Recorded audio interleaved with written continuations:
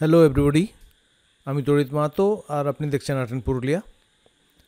আমরা এই সিরিজে অ্যাক্রিলিক্সের সাথে পেন্টিং নিয়ে আলোচনা করছি, আর এটা হচ্ছে সিরিজের চতুর্থ ভিডিও এ পর্যন্ত আমরা অ্যাক্রিলিক রং করা সরঞ্জাম, রঙের ধারণা আর গঠন বানানোর মৌলিক বিষয়গুলো কভার করেছি। আপনি যদি আগের ভিডিওগুলো না দেখে থাকেন, তবে আমি পরামর্শ দেব, আপনি আগে ওই ভিডিওগুলো দেখুন। আজ এই ভিডিওতে আমরা সংক্ষেপে দেখব কীভাবে দূরত্বের ভ্রম তৈরি করতে পারা যায়, অর্থাৎ কীভাবে আমরা একটা পেন্টিংয়ে বস্তুগুলো কেমনভাবে বানাতে পারি, যাতে দর্শকের কাছে বস্তুগুলো অনেক দূরে, মাঝামাঝি বা কাছাকাছি যেটা যেমন সেরকম মনে হয়। দূরত্বের এই বিষয়ের আলোচনা আমি দুটো ভিডিওতে করব, কেননা পুরো বিষয়টা অনেকটা লম্বা হয়ে যাবে। প্রথমটাতে থাকবে প্রধানত লিনিয়ার পার্সপেক্টিভ আর দ্বিতীয়টাতে থাকবে অ্যাটমসফেরিক বা এরিয়াল পার্সপেক্টিভ দূরত্বের ভ্রম দেখার আগে আসুন দেখা যাক অ্যাক্রিলিক পেন্টের সাথে কি কি মিডিয়াম মেশাতে পারা যায় ছবি আঁকার সময়, যেটাতে রঙের কিছু বৈশিষ্ট্য বাড়ানো যেতে পারে বা পাল্টানো যেতে পারা যায়। আর টেক্সচারও তৈরি করতে এই মিডিয়ামগুলোকে ব্যবহার করতে পারা যায়। অ্যাক্রিলিক পেন্ট বানানো হয় পিগমেন্টের সাথে অ্যাক্রিলিক পলিমারের বাইন্ডার মিশিয়ে আর তার সাথে বাহক বা ক্যারিয়ার হিসাবে জলও থাকে। রং লাগাবার পরে জল বাষ্পীভূত হয়ে যায় আর উড়ে যায়। ভেজা অবস্থায় অ্যাক্রিলিক পেন্ট জলে গুলে যায়, কিন্তু একবার শুকিয়ে গেলে শক্ত আর জল প্রতিরোধী হয়ে যায় আর কোনো রকম পরিবর্তন করা যায় না। পেন্টকে আপনি টিউব বা জার থেকে যেই বার করবেন, ওটা শুকনো হওয়ার প্রসেস শুরু হয়ে যায় আর খুবই তাড়াতাড়ি শুকিয়ে যায়। ব্যাপারটা অনেকের কাছেই বেশ অস্বস্তিকর। কেননা পেন্টের সাথে কাজ করার সময় পাওয়া যায় খুব কম। অ্যাক্রিলিক রং অনেক রকমের আকারে পাওয়া যায়, যেমন জেল, পেস্ট বা হেভি বডি, তরল আর অতিরিক্ত তরল বা কালির মতো।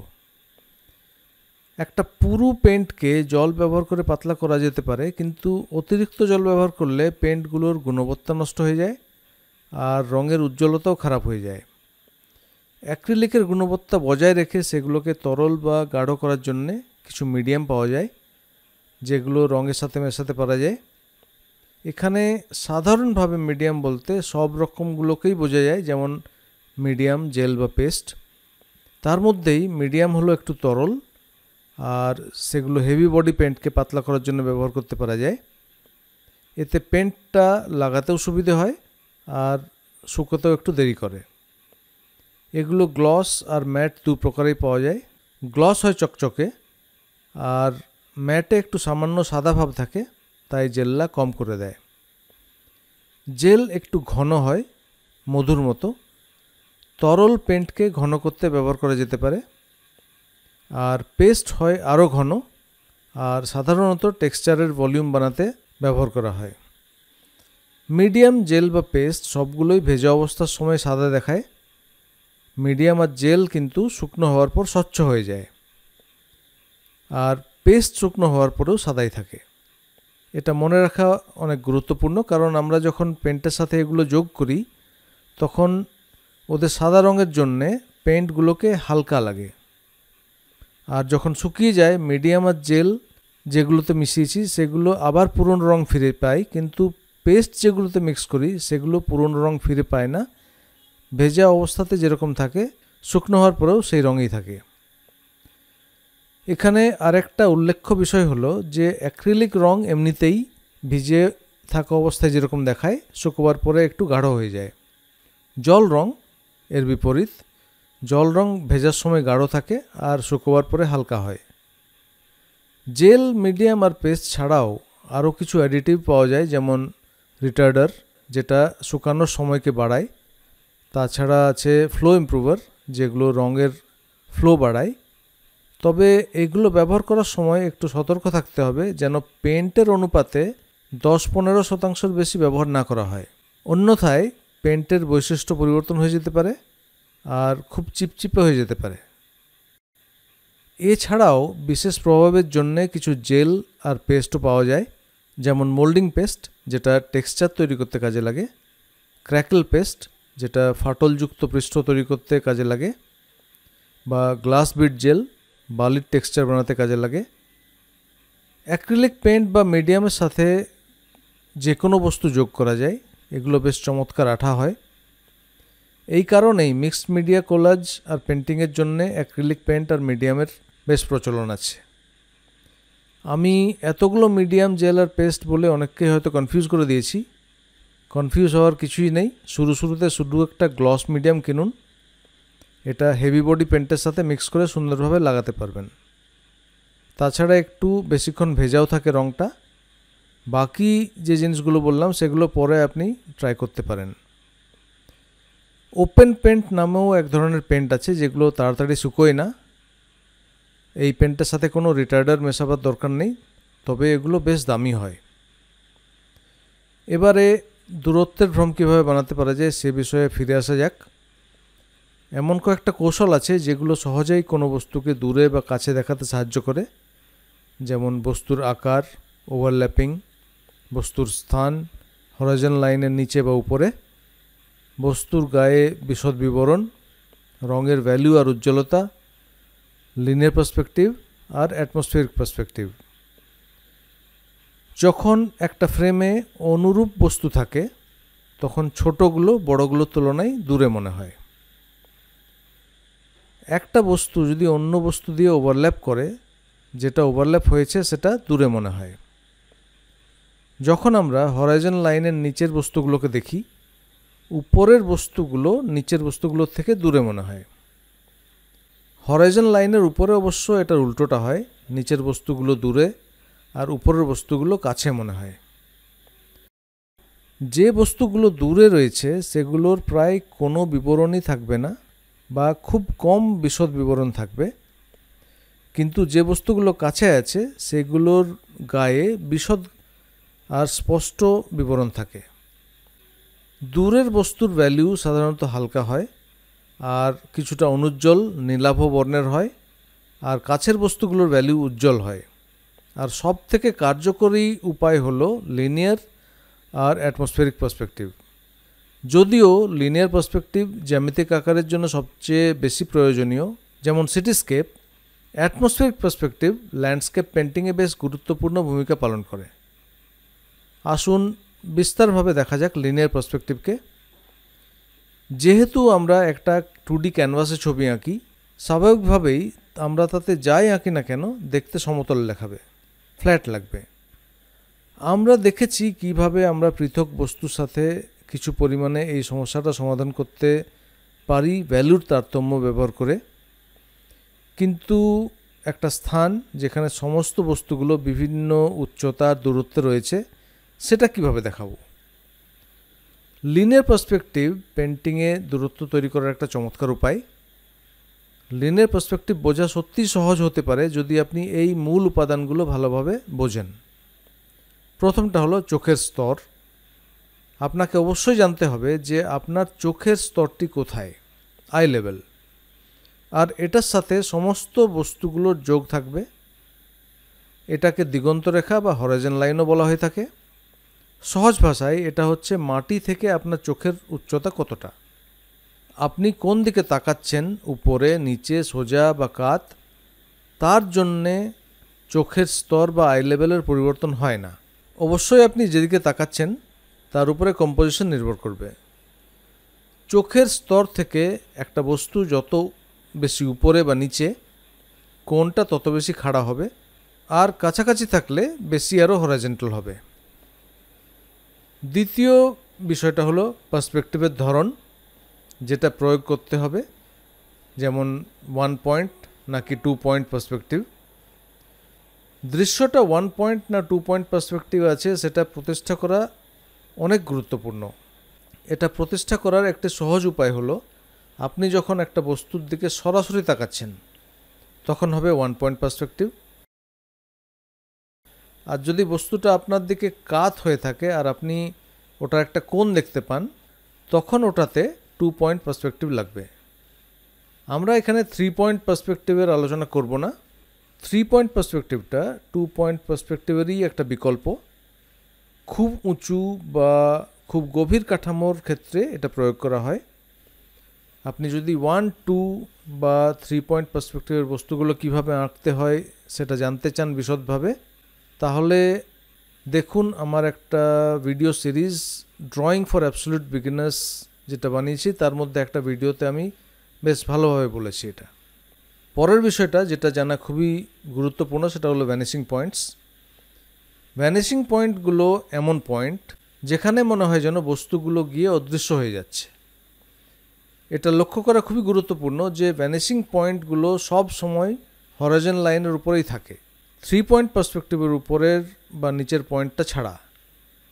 কখনো কখনো ভ্যানিশিং পয়েন্ট ছবির ফ্রেমের বাইরেও থাকতে পারে। একই সমতলে থাকা বা সমান্তরাল বস্তুদের একই ভ্যানিশিং পয়েন্ট হয়। যে বস্তুগুলো সমান্তরাল নয় তাদের বিভিন্ন ভ্যানিশিং পয়েন্ট থাকে, তবে সবগুলোই হরাইজন লাইনের উপরে থাকে। বস্তুর কোনা থেকে টানা ভ্যানিশিং পয়েন্ট পর্যন্ত রেখাগুলোকে ভ্যানিশিং লাইন বলে। টু পয়েন্ট পার্সপেক্টিভে কোনো জ্যামিতিক বস্তুকে উপর থেকে বা নিচের থেকে দেখার সময় আমরা অনেক সময় দূরের কোনাটা বানাতে ভুল করে থাকি। দেখা যাক একটা বাক্স উপরে বা নিচে থেকে কেমন দেখাবে।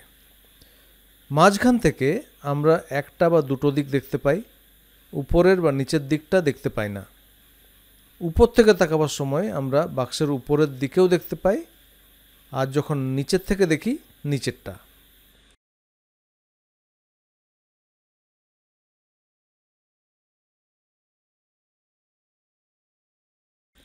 সাইডগুলো আঁকা তুলনামূলকভাবে অনেক সহজ।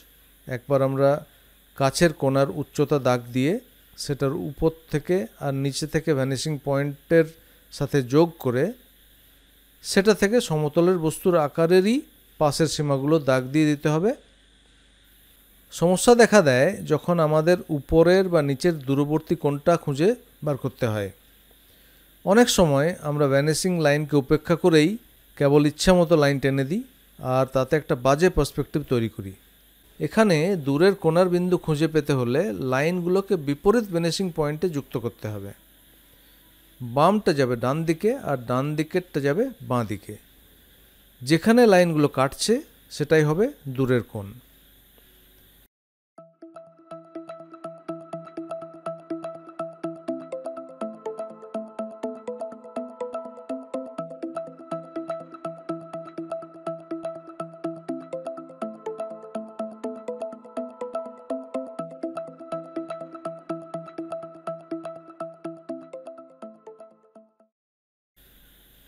আরেকটা বিষয় হলো সাইটিং সাইটিং হলো মূলত বেস লাইনের সাথে বস্তুর কোণ স্থাপন করা। বেস লাইন হচ্ছে দিগন্ত রেখা বা হরাইজন লাইন এর একটা সহজ উপায় হলো ক্যানভাসকে হরাইজেন্টাল রেখে পেন্সিল দিয়ে দৃশ্যের লাইনের কোণ ক্যানভাসের উপরে নামিয়ে দাগ দিয়ে দিন। আরেকটা গুরুত্বপূর্ণ বিষয় হলো খাড়া রেখাগুলোকে সবসময় খাড়ায় রাখা। সমস্ত খাড়া রেখা, যেমন দেওয়াল, জানালা, দরজা বা বাক্সের পাশের খাড়া প্রান্তের মতো দৃষ্টিভঙ্গি নির্বিশেষে খাড়াই থাকবে। যে কোনো দিক থেকেই আমরা দেখি না কেন, এই রেখাগুলো সবসময় খাড়াই থাকবে। এখন দেখা যাক কীভাবে আমরা এই ধারণাগুলোকে জ্যামিতিক আকারে, যেমন আর্কিটেকচারাল পেন্টিংগুলোতে ব্যবহার করতে পারি। আমরা একটা ফটোগ্রাফিক রেফারেন্স ব্যবহার করব। লাইভ আউটডোর পেন্টিংয়ের চেয়ে ফটো রেফারেন্স দিয়ে শুরু করাটাই ভালো। একটা ফটোগ্রাফ আগের থেকেই একটা থ্রি ডাইমেনশনাল সিনকে টু ডাইমেনশনে করে রেখেছে। আমি আমাদের পুরুলিয়ার ছো রং আর্ট গ্রুপের বন্ধু শঙ্কর টুটু চ্যাটার্জিকে ধন্যবাদ জানাতে চাই, যিনি একজন চমৎকার ফটোগ্রাফার। আর এই ফটোটা আমার এই ভিডিওটার জন্য, ব্যবহার করার জন্য আমাকে সদয় সম্মতি দিয়েছেন। এই ফটোগ্রাফটা টু পয়েন্ট পার্সপেক্টিভে রয়েছে। আমরা দেখতে পাচ্ছি যে লাইনগুলো একটা পয়েন্টে চলে যায়। আর অদৃশ্য হয়ে যায়। এটা আঁকার জন্যে আগে আমাদের দৃশ্যটাকে স্কেচ করতে হবে। কিছু মৌলিক সরল রেখার জন্য আমি একটা রুলার ব্যবহার করব। তবে পেন্টিংয়ের সময় রুলার এড়ানোই ভালো। রুলারের উপর অত্যধিক নির্ভরতা পেন্টিংকে খুবই যান্ত্রিক করে তোলে।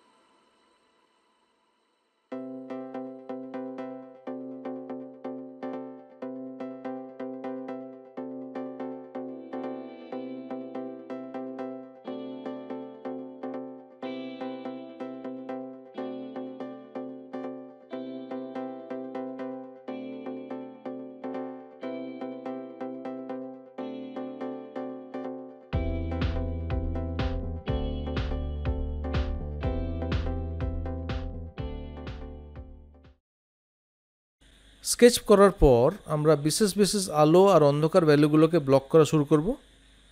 এখানে আমরা দেখতে পাচ্ছি একাধিক আলোর উৎস রয়েছে আর সেগুলো বেশ শক্তিশালী। ছাদ আর কিছু দেওয়ালকে খুব উজ্জ্বল করে তুলেছে আর শক্তিশালী হাইলাইটার ছায়া রয়েছে। যদিও দেওয়ালগুলো গোলাপি, কিন্তু কিছু জায়গায় এগুলো প্রায় সাদা লাগছে। আলো বিভিন্ন কোণে বিভিন্ন সমতলের উপর প্রভাব ফেলে। আর এইভাবে বিভিন্ন ভ্যালু তৈরি করে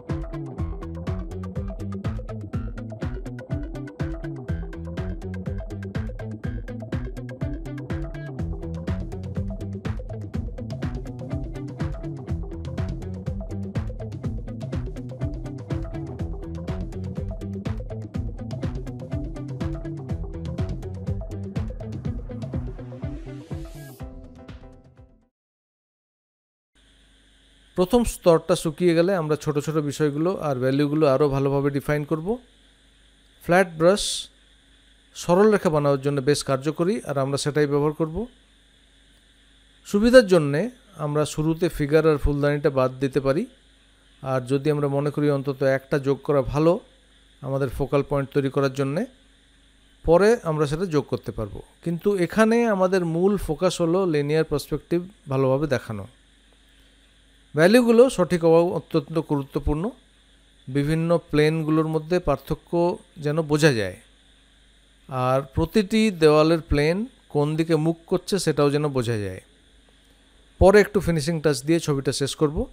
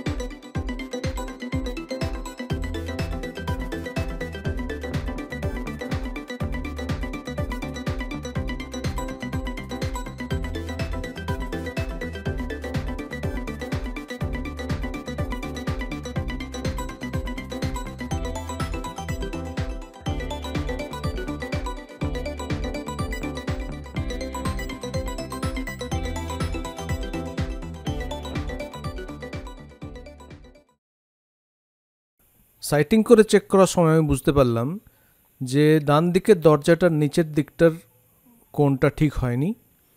ওটা আমি আবার কারেক্ট করলাম।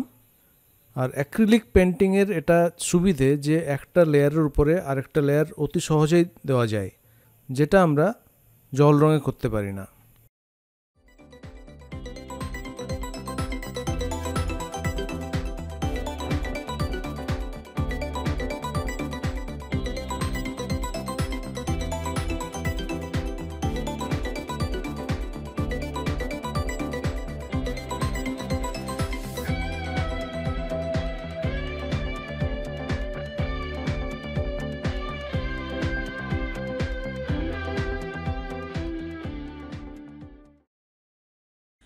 আজকে এই পর্যন্তই। পরবর্তী ভিডিওতে আমরা দেখব অ্যাটমসফিয়ারিক পার্সপেক্টিভ যেটাকে আমরা এরিয়াল পার্সপেক্টিভও বলে থাকি। নিরাপদে থাকুন, সুস্থ থাকুন। আর যদি আমার চ্যানেলটা না সাবস্ক্রাইব করে থাকেন, তাহলে নিশ্চয়ই সাবস্ক্রাইব করবেন। অনেক অনেক ধন্যবাদ। নমস্কার।